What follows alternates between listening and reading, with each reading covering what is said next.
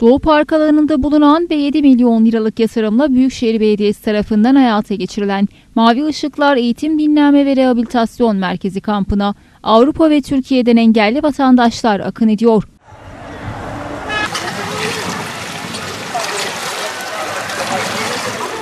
Engelleri yüzünden tatil imkanı bulamayan çocuklar ve ailelerine ücretsiz tatil imkanı sağlayan Mavi Işıklar kampı Avrupa'nın birçok ülkesine örnek oluyor.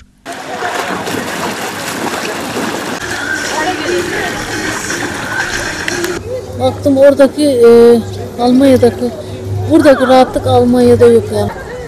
Bizine gelince baktım e, buradaki hakikaten engellilere daha güzel şeyler çıkardılar. Baktılar buraları burayı yaptılar. Çok hoşumuza gitti.